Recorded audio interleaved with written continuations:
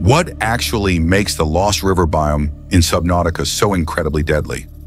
The Lost River is one of the many biomes in Subnautica which stands out the most with some incredible looking environments and rivers that have somehow formed underwater. However, don't let the looks of this environment fool you as it is considered to be one of the most deadly biomes a player can venture within.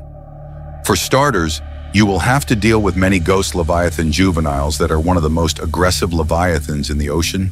They will be easy to spot due to their bioluminescent glow and bright eyes which should allow you to avoid them without too many problems.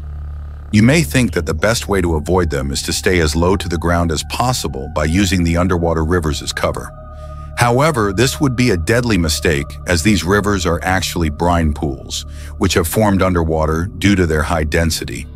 They are extremely toxic and should definitely be avoided if you don't have specialist equipment, such as a prawn suit.